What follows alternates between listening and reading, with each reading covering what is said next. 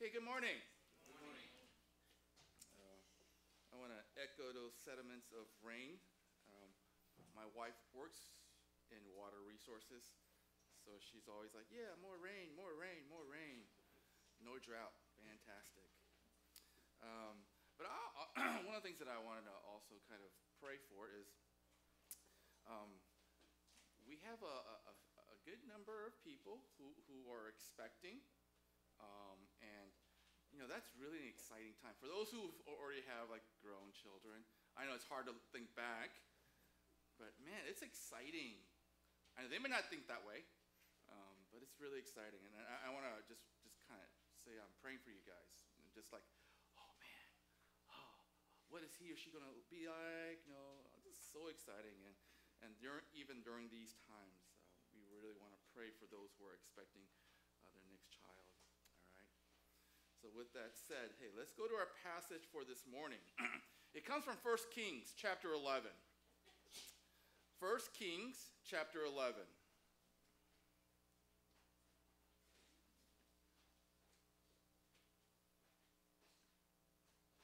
1 Kings chapter 11, verses 1 through 6.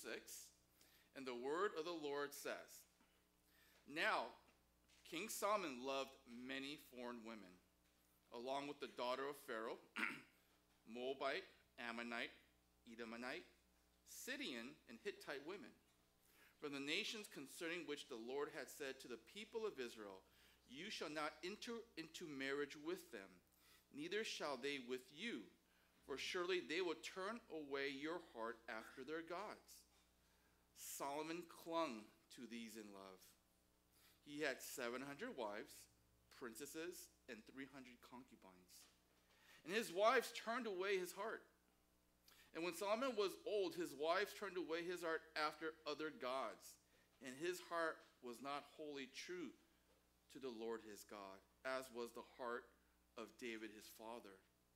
For Solomon went after Ashtoreth, the goddess of Sidonians, and after Milcom, the abomination, uh, abomination of the Ammonites.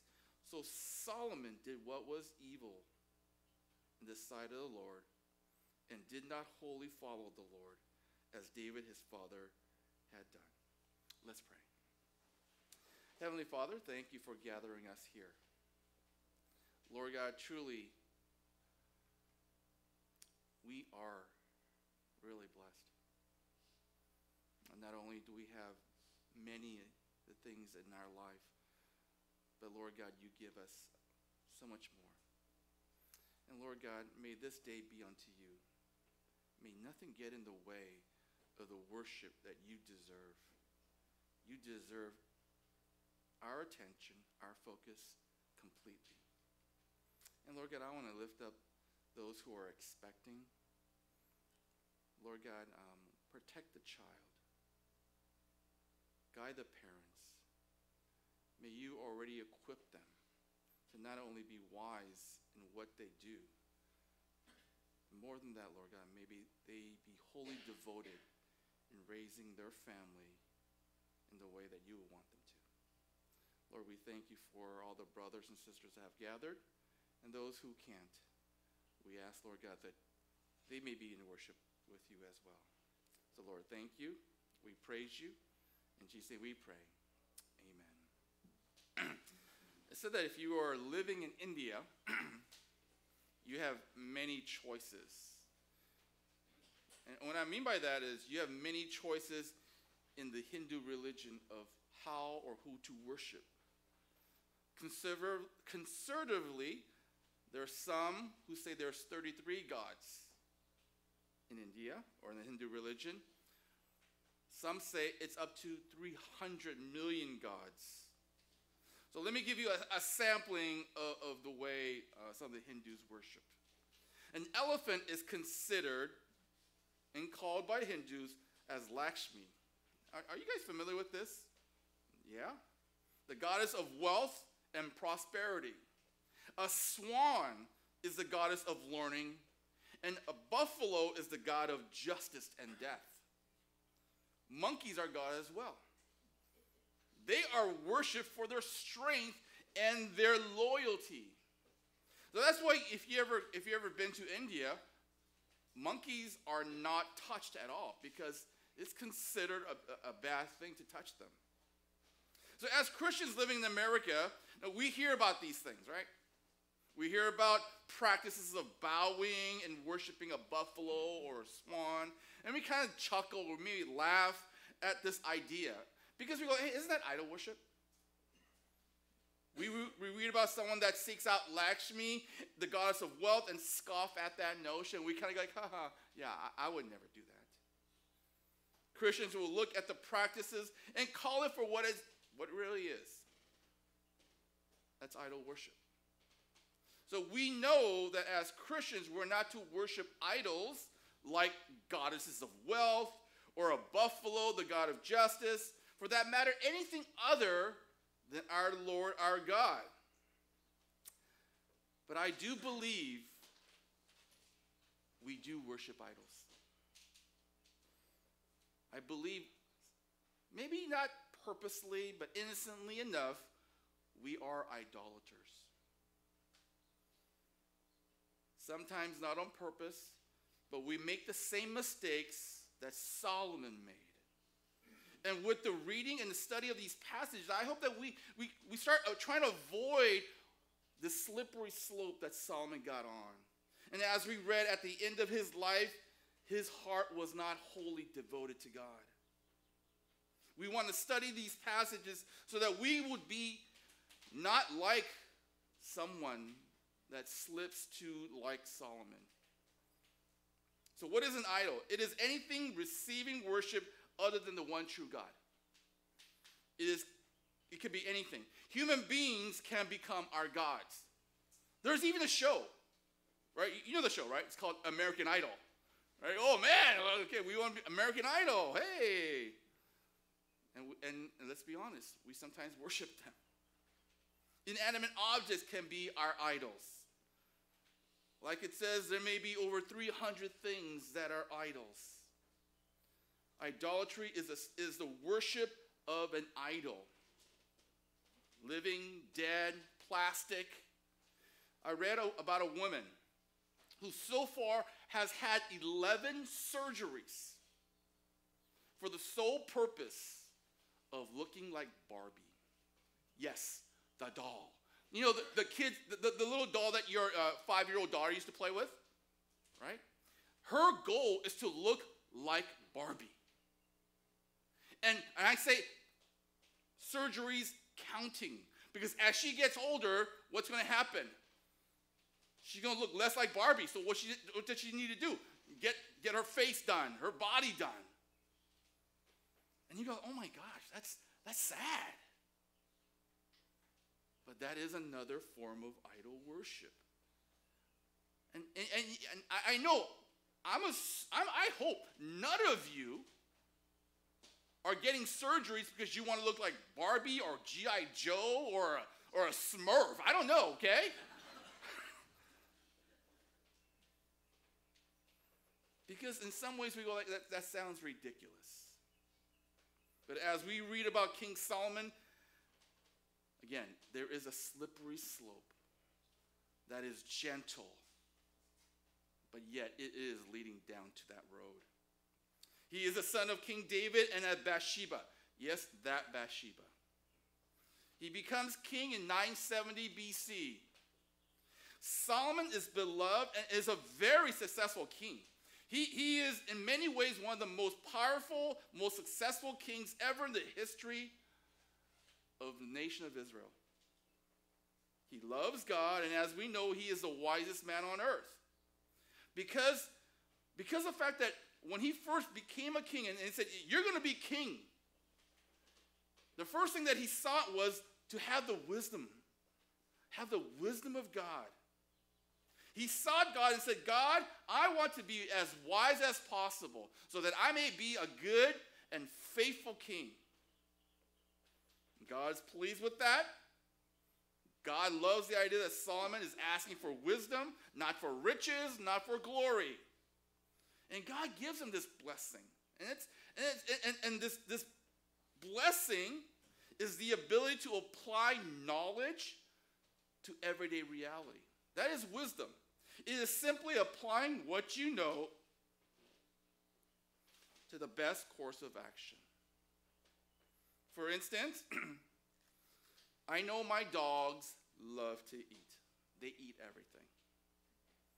One of my dogs, Boba, enjoys eating other dogs' poop. They love eating. It does not matter. What, I know. You're like, I know. You're like, what? That's disgusting. That's what I say. But they still do it. They love to eat. They are driven to eat. They have very little discernment. Other dogs poop, grass seeds, does not matter. And they would eat as much as they can, and they have. So, having that knowledge, would it be wise to have my son's birthday cake around them? No, that would be not wise. That would be silly. I should place it in a place where they could not get to or reach. That is the wise thing to do. That is wisdom. I know my dogs are crazy eaters, and I don't want my dogs to eat my son's birthday cake. So the wise thing is put it in an appropriate place. So God gifted Solomon with extraordinary wisdom.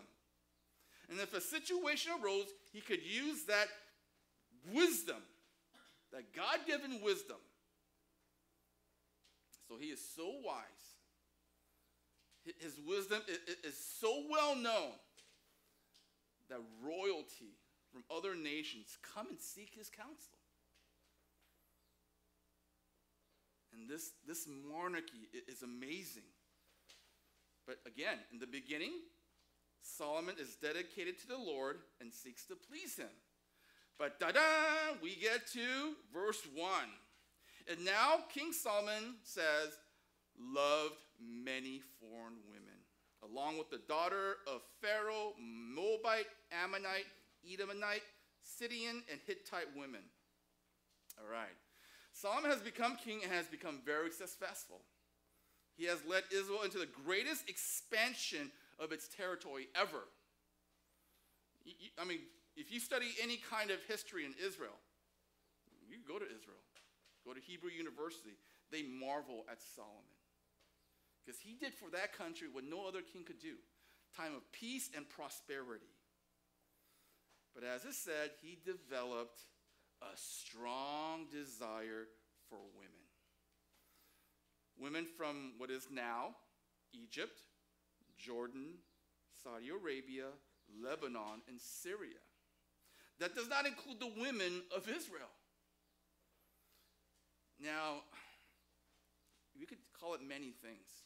He desired, he lusted, he many things. But he loved women. I like women. I have one. I have a wife. Okay? But this dude had 700 wives and 300 concubines. He loved women. No, that's not, that's, not even the right word. It's lusted after women. And, and, and women, okay, you're more beautiful than men. You're, you're more alluring than men. So I can see why uh, Solomon did that. It's like, oh man, they're more pleasant to be around. My, uh, my, my wife's skin is a lot softer than mine. I'd rather touch her than I would touch me. Like, it, it's just much better. So he was really allured by them. And it, and it brought him pleasure to be around so many women. And he would place all his women, uh, the be wise princes, and he would put them in, in various places throughout his kingdom. So when he would go visit up north into the Galilee region, he would have three or four there. Then he would go to Capernaum and he would have three or four there. And he would place all these women throughout his empire. Did he have his favorites? Absolutely. But in taking women from various countries, Solomon was disobeying God. God told him, Do not marry the women for these nations because their mentality is to worship other gods. It wasn't the fact that they were Jordanians or Lebanese. God is not telling us today that we should not marry people from other nations. What God is saying is that for Solomon, he got what? he got lured away from God. He got lured away from the ones that he loved, his priority. In taking these women from various countries, God told him, don't marry these women because they will lead you astray. Unfortunately, he does not listen. The wisdom that God gave to Solomon, he does not use. Okay? So he's the wisest man on earth. But what does he do? He ignores to use it. Because why? He is blinded by lust, he is blinded by his own desires. And that should be a lesson to us all. When you use your gifts for God, you will build a closer relationship with God. The less you use your gifts, the farther you will be. And as we read from the account of Solomon, we discover there are two forms of idolatry. The first one, go back. Oh, boy, so far, far. Okay, there is what's called actual idolatry and it is defined as spiritual worship given to other than the true God. Solomon is so enamored with his 700 wives and 300 concubines that he wants to be near them. Th- those, those who are married, those who have like th- that wonderful girlfriend or boyfriend, right? Like you like like oh man, I want to be around him or her. Solomon was enamored with women. He wanted to be around them. He liked everything about them the way they smell, the way they feel. It's like, oh, I want to be around them. He wants to interact with them. I, and one of the things that I love about my wife is when she does this with her hair. I really love that. That's why when she got short hair, I was like, oh, oh man, that sucks. It's like, what do you think? I was like, uh, I, I, like long hair. Oh, I don't like long hair. I was like, Right? Guys, you understand. All right? Women have certain powers over men. So when she does that, I was like, oh, that's so awesome. I want to see that again. Like, I, I wish I had YouTube. Oh, that's so awesome. Over and over again. Same thing with Solomon. He was, oh, I'm enamored with these women. The more I'm around them, the more I want to, I feel good. So when they said, oh, I want to go worship Ashtoreth, the God of fertility, he was like, wherever you go, I will go. Wherever you are, that's where I want to be. So he would follow them. And being the, the guy that loves this woman, he just did whatever she wanted. Was he a leader of the household? No. Was he a, a spiritual leader for his wives? No. So, what does he do? He falls and follows them and does what they do. And that is actual idolatry. You actually go into a temple or a place and worship. And I want to make it clear um, I, I visited other countries, I visited Muslim nations to do missions work, to do evangelism. And I visited one of the largest um, Muslim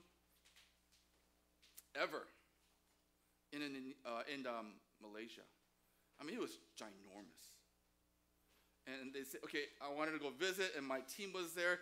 We want to kind of explore. We got our like, like, like kind of like a cloak or like a robe, and they said you got to wear this thing. I was like, okay, that's okay, because we're just here to visit. We want to we want to be appropriate. We don't want to cause offense. So we went and we were just looking. But at no time did we worship. And that's the thing. You could go visit. My son has worship as part of his school project. There's a difference of worship. And that's what Solomon did. He got down on his knees, offered sacrifices, and that's what he did. And God says, don't do that. I don't think any of you do that.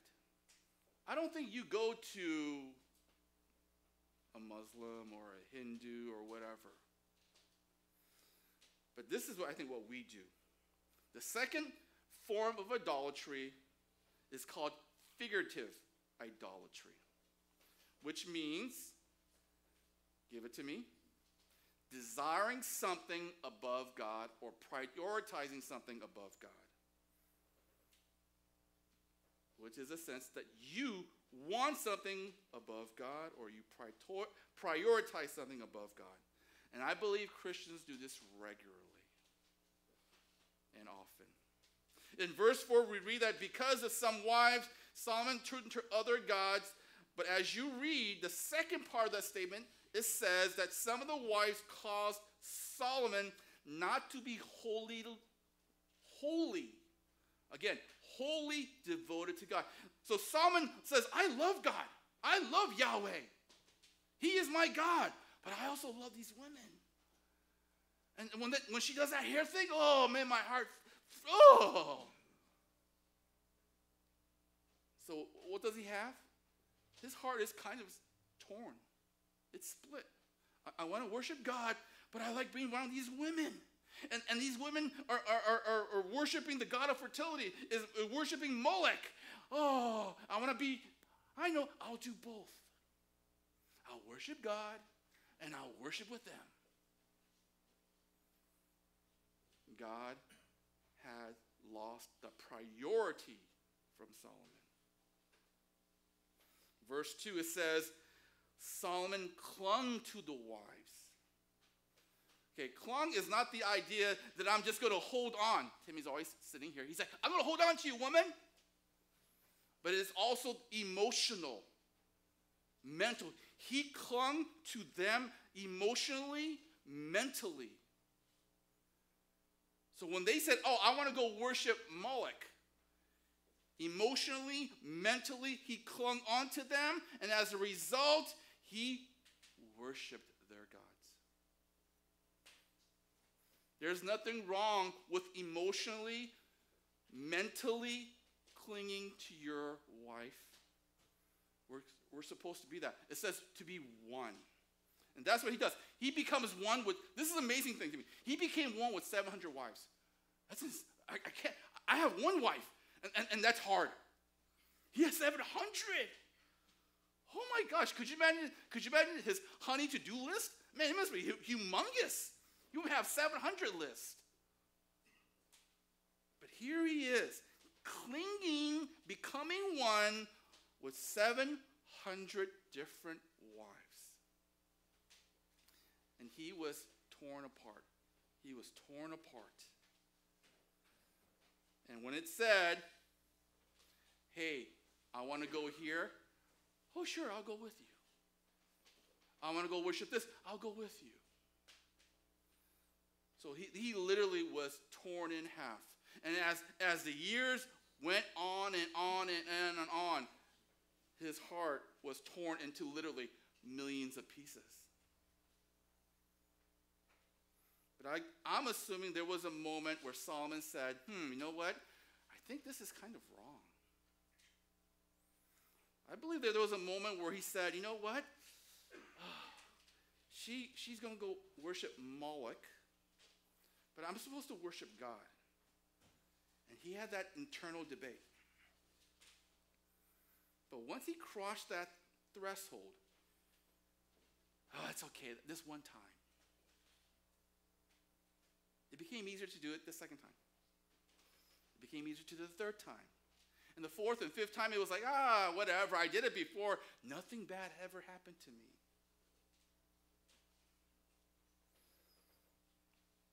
That's the trap. That's the trap. You do it the first time, ooh, guilt, oh man, it's tough. The second, third, fourth, fifth time becomes easier. We fall into that. We fall into that. I'll be very honest with you. Uh, our family deals with that all the time. Uh, ever since my son was seven years old. He was playing a very high level of youth baseball, and now he's playing a very high level of youth basketball. We have these big tournaments, And, and baseball tournaments takes for hours. We had, uh, when we were in Kansas City, tournaments will start Friday afternoon. Saturday, and if you do really well in your bracket, you go to like the, the, the championship bracket on Sundays. And we would sit there going, oh, God, what should we do? And, and I'm a pastor, right? I'm a pastor. And I, would, and I would say, like, oh man, part of me says, oh man, if, if he wins this game, we're going to the championship bracket. Part of me says, lose, lose, lose. But the competitor says, no, win, win, win.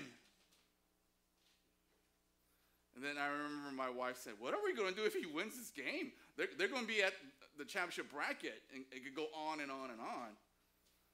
I said, Let God's will be done.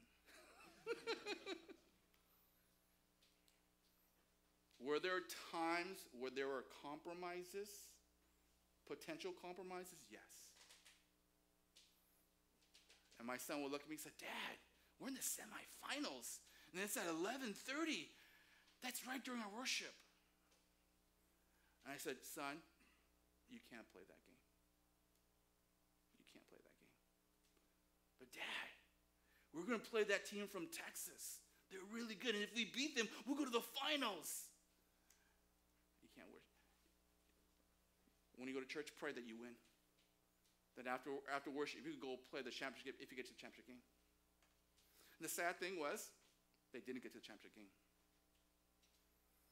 And, and, and the other kids were like, hey, Micah, where were you? Where were you?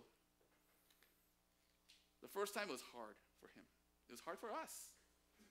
Because I want my son to be in the championship game and get those little medals, right? Ooh, look, I got a medal. But after a while, he understood. He understood who his priority was. It was God. And I tell him, son, you have a great arm. You could throw that ball hard.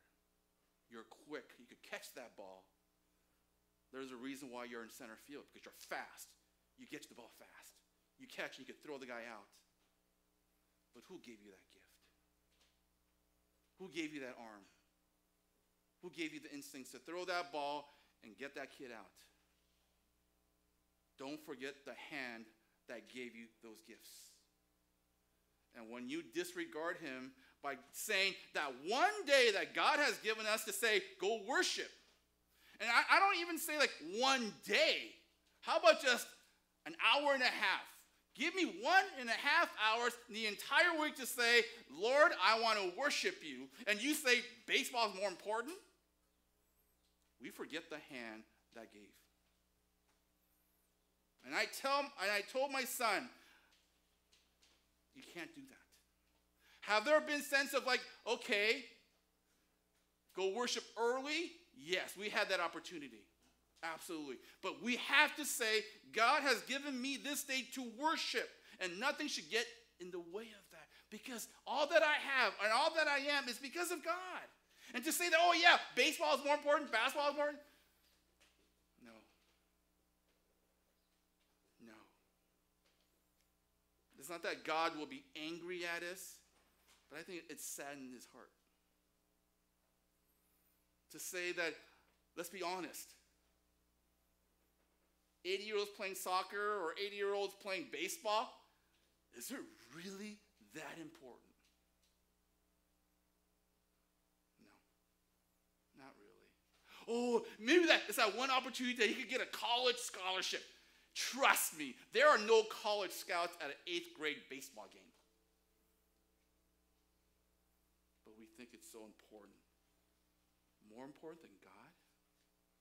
No. Now, are there opportunities that sometimes cause us because we're traveling or something happens at work? Yeah, it happens. And that's not what the issue is. But what happens to Solomon is that the first time became three, four, five, six, seven, nine, ten. It became a regular life choice. What are you placing ahead of God? I had this really weird conversation So, you know, I was counseling uh, this family. And um, um, I, I, I, asked him, I was like, you know, I, I noticed that there's some tension, right? And he says, and, and they're saying, yes, uh, yeah, there is some stuff going on. I said, what's going on? And, and, and, they, and they proceeded to tell me that the wife just didn't like this one person at the church. I said, hey, what's going on? Like, did they do something? They said something and whatever, whatever. And, and, and she proceeded, and she kind of like, you know, she was a little embarrassed by it. And she said, no, it's not like what anything he said, but just the way he looks, the way he behaves, just bothers me. I said, oh. Is it because, like, you know, and, and, and this one person is a little bit different. All right? He had a tattoo across his neck, right? Like, in, in any definition of looking like proper, he looks a little different. His clothing choices, a little different. So what, what she would say is like, oh, I don't want to be near him. I don't want to be around him. And, and she caused her husband to say, oh, don't go talk to him. He'll be a bad influence on you.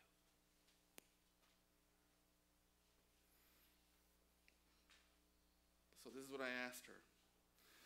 And I asked him first because he is the head of the household. I said, not his real name, Zuther. On one side is your wife. You love her. You really love your wife. And, I, and, I, and, I, and you want to support her with her opinions. Okay? There's your wife. But in the direct opposition to her is a passage called 1 John 2 9 through 11. Anyone who claims to be in the light but hates his brother is still in the darkness. Whoever loves his brother lives in the light, and there is nothing in him to make him stumble. But whoever hates his brother is in the darkness and walks around in the darkness. He does not know where he is going because the darkness has blinded him. Direct opposition to your wife, brother, is Galatians 6:10. Therefore, we have an opportunity. Let us do good to all people, especially to those who belong to the family of believers. This is not a conditional clause, I told him. But too many times, we stand in direct opposition to what God is calling us to do. And that is something that is what we call figurative idolatry. Choosing a friend, our wife, over what we should be doing for the Lord. What we know is to be right. What we know is in honoring God but in opposition to that is our friend that says, hey, fill in the blank.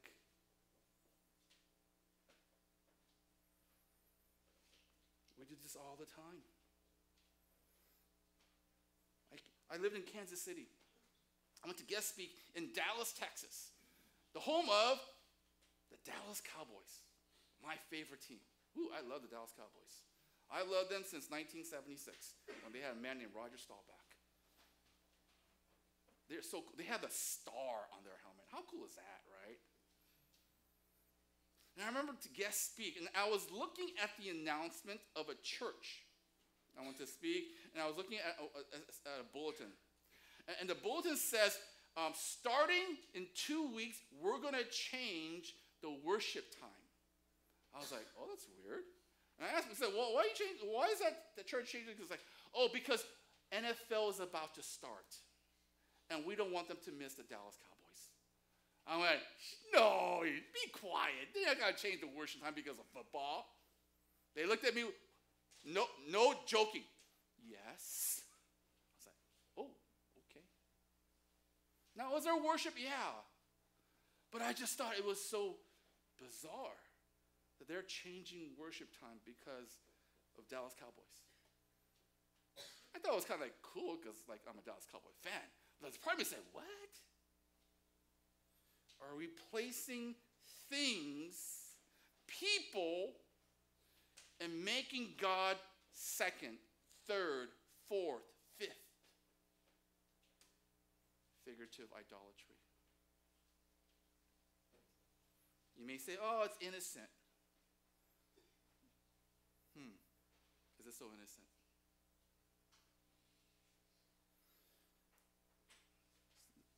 So, if you're really going to be a church, and I believe we all want to be a church, I believe that we all want to be a church that is a light.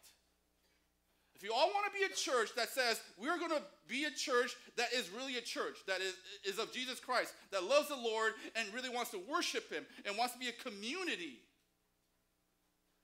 our priority has to be God first. That, is, that has to be our priority. It, it can't be uh, kids soccer, kids baseball, or a boyfriend, girlfriend, uh, a wife saying, don't do this, don't do that. Our priority has to be God. And you may say, Pastor, that sounds really hard. Yes, it is hard. And you'll be, you'll be faced with some difficult decisions. But I say, choose wisely. Because the first time, hard. Second time, not so hard either way. First time, hard. But the second time, not so hard either way. Let's pray. Heavenly Father, we thank you. And Lord God, I hope that we could be a church that prioritizes.